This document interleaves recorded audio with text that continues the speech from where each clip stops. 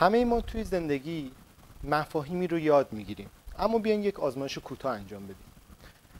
آیا می‌تونید مفاهیمی رو که در دوران تحصیل خودتون یاد گرفتید به یاد بیارید؟ مثلا می‌تونید گروه هالوژنی جدول تناوبی رو الان نام ببرید یا قانون سوم نیوتن رو به یادتون بیارید؟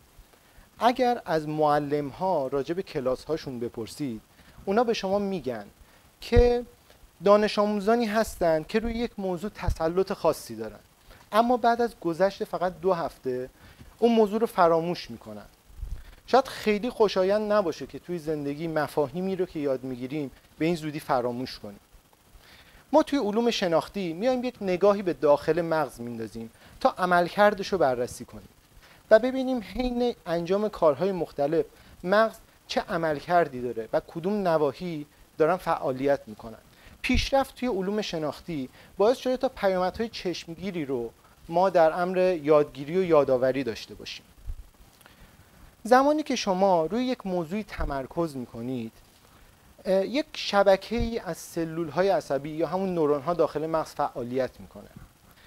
فعالیت این نواحی باعث میشه که شما بتونید مسئله رو حل کنید. اما اگر برای اولین بار با یک موضوع جدیدی روبرو بشید چی؟ تو این حالت شما حتی نمی‌دونید اون شبکه در کدوم قسمت مغزتون تشکیل میشه. پس یه نگاه گسترده به موضوع میندازید شبکه به صورت اولیه در مغزتون تشکیل میشه اما ضعیف و ناپایداره و امکان فراموشیش وجود داره. با تمرین تکرار و مرور اون مفاهیم این شبکه نورونی کم کم تقویت میشه و ما اینجا می‌تونیم بگیم که یادگیری انجام شد. زمانی که دوباره روی اون موضوع تمرکز می‌کنید فعالیت اون شبکه باعث میشه که بتونید مسئله رو حل کنید. زمانی که شما یادگیری رو صورت می‌دید این شبکه در مغز شما فعالیت نورونی پیدا می‌کنه. این فعالیت باعث این میشه که یادگیری صورت بگیره. هرچه فعالیت بیشتر باشه یادگیری بهتر انجام میشه و زمان طولانی تری برای فراموشیش مورد نیازه. اگر یادگیری رو ما در حالت کلی به ساخت یک دیوار تشبیه کنیم در زمان تمرکز مثل اینه که شما دارید آجرهای روی این دیوار رو میچینید و زمانی که تمرکز رو از روی موضوع برمیدارید مثل اینه که به ملاتی که روی اون آجرها قرار دادید زمان دادید تا خشک بشه. اگر شما یک مسئله ای رو به صورت یک باره بخواید یاد بگیرید باعث میشه که نهایتا یک دیوار خراب نصیبتون بشه و یادگیری ناقص صورت بگیره. مغز شما سیستم انعطاف پذیری داره می‌تونه از محیط تاثیر بگیره و در خودش تغییر ایجاد کنه. نکته کلیدی همینجاست که مغز شما می‌تونه تحریک بپذیره و با اون تحریک در عملکرد خودش بهبود ببخشه. مثلا با تحریک الکتریکی مغز یا TDCS به درمان هایی که باعث بهبود کودکانی که با مشکلات اختلال یادگیری درگیرن خیلی نزدیک شدیم. یا با تحریک TMS یا همون تحریک مغناطیسی مغز به درمان های بیماری مثل اسکیزوفرنی MS یا اختلالات وسواس خیلی خیلی نزدیک شدیم. ولی اینطوری نیست که این تحریک ها همیشه از جنس الکتریکی یا مغناطیسی باشه یا اینکه نیاز داشته باشیم به یک تکنولوژی یا دستگاه خاصی. این تحریک می‌تونه از جنس دیداری یا از جنس شنیداری باشه. ما می‌تونیم مغزمون رو طوری تحریک کنیم تا در عملکرد خودش به شدت پیشرفت کنه. به طور مثال انجام یک بازی کامپیوتری دیدن یک فیلم یا حتی گوش کردن به یک موسیقی. شما زمانی که به یک موسیقی گوش می‌کنید سیگنال های صوتی به صورت پالس های نورونی از طریق کانال حلزونی گوش به قشر پیششنیداری مغز میره. و بعد برای رمزگشایی وارد قشر شنیداری مغز میشه. قشر شنیداری مغز شما به صورت گسترده با نواحی دیگه مغز در ارتباطه. یعنی زمانی که به موسیقی گوش می‌کنید می‌تونید نواحی خیلی زیادی رو توی مغز تحریک کنید و باعث فعالیت اون نواحی بشید.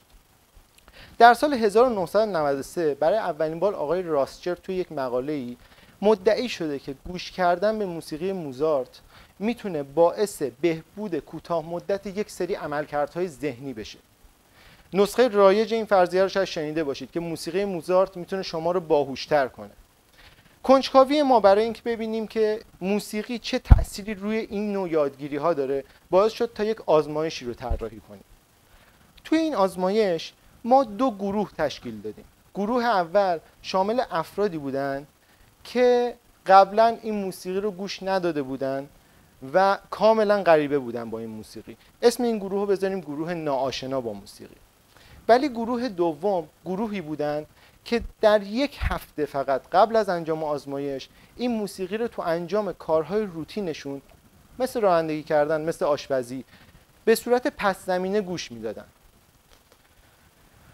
ما برای اینکه بتونیم به داخل مغز این افراد نگاه بندازیم از یک تکنولوژی به نام fMRI استفاده کردیم. یا همون Functional Magnetic Resonance Imaging. این تکنولوژی این قابلیت رو به ما می‌داد که بتونیم نواحی فعال مغز رو به صورت واضح ببینیم. پس ما از این دوتا گروه خواستیم تا زمانی که داخل دستگاه fMRI هستن و ما می‌تونیم عملکرد مغزشون رو مستقیم ببینیم یک بازی کامپیوتری رو انجام بدن. توی این بازی ما یک محیطی طراحی کردیم که افراد قادر بودن آزادانه توی اون محیط حرکت کنن و به هر طرفی که بخوام برن. ازشون خواستیم که این محیط رو یاد بگیرن. به این نوع یادگیری میگن یادگیری فضایی که شما توی این یک محیط یک فضا رو دارید یاد می‌گیرید. در تمام طول این بازی همون موسیقی موزارت داشت پخش می‌شد دوباره براشون. بعد از این مدت زمانی دوباره افراد به داخل بازی برمیگردوندیم. این بازی توسط عینک های واقعیت مجازی و یک سری کنترلرها که در دستشون بود زمانی داشت انجام می‌شد که بچه ها داخل دستگاه اف بودن.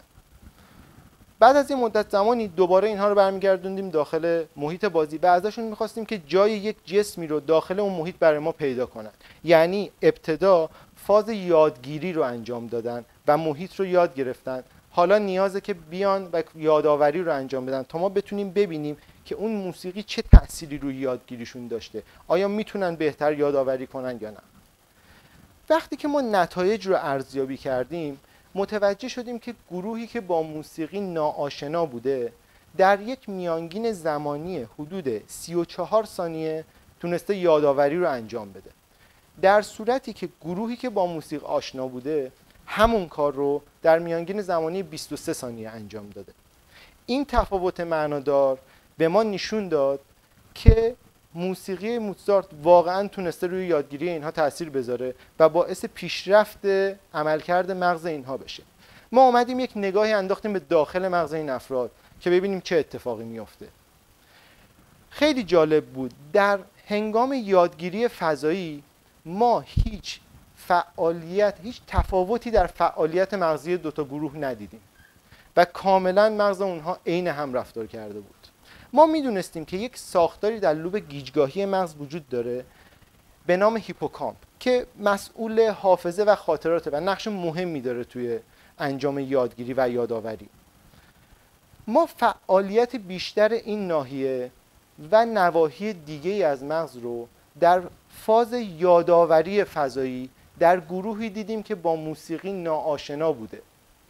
وقتی به مطالعات قبلی مراجعه کردیم متوجه شدیم که زمانی که یک یادگیری برای مغز پیچیده تر باشه مغز فعالیت بیشتری میطلبه. در نتیجه فعالیت بیشتر گروه ناآشنا با موسیقی و از طرف دیگه میانگین زمانی بیشترشون برای حل مسئله نشون می‌داد که این افراد یادگیری اون محیط براشون سختتر بوده و پیچیده تر بوده. ما همینطور عملکرد کمتر نواحی رو دیدیم که مربوط به درک و شنیدن موسیقیه. وقتی از خود شرکت کننده هامون راجع به این قضیه پرسیدیم متوجه شدیم که 70 درصدشون اصلا متوجه نشدن که روی background اون بازی موسیقی داشته پخش می شده مغزشون به صورت کامل موسیقی رو reject کرده بوده تا تمام حواسشون روی یادگیری فضایی باشه. با این حال باز هم عملکرد ضعیفتری داشتن نسبت به گروه آشنا با موسیقی. ما موفق شدیم که توی این کار مغز افراد رو با یک تحریک از جنس موسیقی تحریکش کنیم و باعث بشیم که عملکرد بهتری توی یادگیری داشته باشه و اثر موزارت هم در یادگیری فضایی تایید کنیم. شما می‌تونید به مغزتون یاد بدید که این مسائل رو یاد بگیره و یادگیری رو برای خودش آسون کنه. نیازی به فعالیت بیشتر مغز یا انرژی بیشتر از طرف شما نیست. هزاران هزار تحریک از این نوع وجود داره. هزاران هزار تمرین وجود داره برای انجام کارهایی که باعث تقویت عمل کرده مغزتون میشه. اگر توی یه سنی هستید که فکر می‌کنید دیگه نمی‌تونید یاد بگیرید یا یادگیری براتون سخت شده دارید اشتباه می‌کنید. مغز شما از پیچیده ترین کامپیوترهای دنیا هزاران بار پیچیده تره زمانی که الگویی تشکیل میشه در مغز شما از طرف نورون هاتون سیناپس های شما به همدیگه متصل میشه. ما می‌دونیم که مغز پویاست این سیناپس ها از بین میرن و سیناپس های جدید جایگزینش میشن. ما می‌تونیم این رو با تکنیک های جدید تصویربرداری ببینیم. کافیه مغز خودتون رو به یک باشگاهی دعوت کنید. و با این نوع تمرین ها باعث بشید که خودش مسائل رو برای شما آسون تر کنه. اثر موزارت یکی از صدها تمرینیه که می‌تونید تو این باشگاه انجام بدید. اگر شما می‌تونید عضلاتتون رو جوری تقویت کنید که یک بار سنگینی و راحت تر از روی زمین برداره می‌تونید مغزتون هم جوری تمرین بدید تا مسائل پیچیده رو براتون آسون کنه. چون این مرزی نیست که برای مغز شما تعریف شده و خیلی فراتر از این هاست.